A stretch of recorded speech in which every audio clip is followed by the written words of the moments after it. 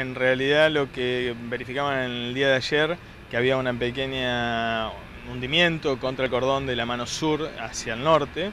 Eh, esto lo que se mm, hizo este, enseguida referencia que podría por las características eh, estaba en línea a una vivienda que podría tratarse de una conexión cloacal domiciliaria cuya cañería pasa también por el cantero central. En la mañana de hoy a primera hora se comenzó con el sondeo como para eh, llegar al cañería y verificar esto. Eh, bueno, eh, están en este momento desarrollándose los trabajos, lo que sí podría también tratarse de un problema de compactación del suelo por el gran movimiento de suelo que hubo en el sector.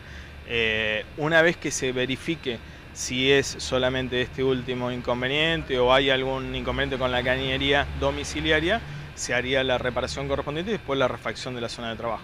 ¿Se sabe si tiene algo que ver con el hundimiento que ocurrió aquella vez en la esquina, que fue muy importante? No, no, no, no tiene nada que ver porque es un caso específico y, y de hecho lo que ustedes pudieron observar que en la excavación el suelo está seco, o sea que no hay ninguna presencia de líquido que podrían dar otro tipo de indicación.